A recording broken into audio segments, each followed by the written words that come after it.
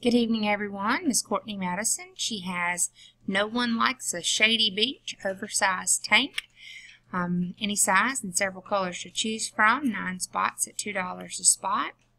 We're going to copy our nine spots. We're going to go down here and go live. We are live just now. 10.04 p.m. 10.04 p.m. Paste our nine items. Need a four or higher on the dice. Going to roll the dice 10 on four. And we have a seven. We're going to do our first random. 1004.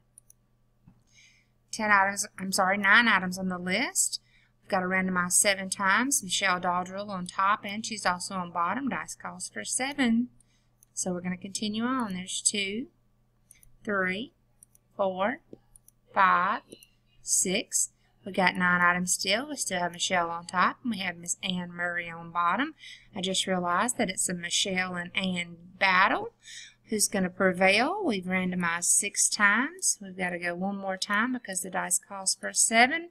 It's 10.05. Good luck, ladies. Here we go. Who's it going to be, Michelle or Ann?